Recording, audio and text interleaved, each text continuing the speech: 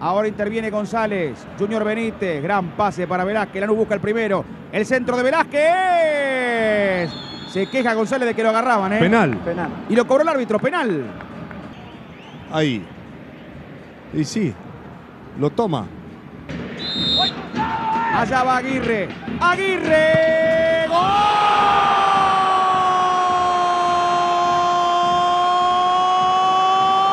¡Gol! De Lanús. Aguirre, el bicho Aguirre. Lo fusiló, lo sentenció Tauber. Y a los ocho minutos y medio del complemento, arriba el grana. Por Nicolás Aguirre, Lanús 1, Chicago 0.